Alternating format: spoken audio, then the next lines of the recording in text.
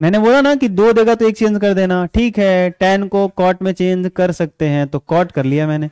और 90 में से यहाँ वाला कौन घटाना होता है तो ए है तो ए घटा लेंगे। बराबर इधर जो है सो कि कॉट है तो कॉट ही लिखोगे। बी है तो बी इसको चेंज मत करना। अब इधर भी कॉट इधर भी कॉट तो इसका जो कोण है वो कितना है? 90 माइनस से। इसका जो कोण है वो कितना है? बी है। तो इसका कोण और इसका कोण बराबर, क्योंकि अब दोनों तरफ़ कॉट हो गया।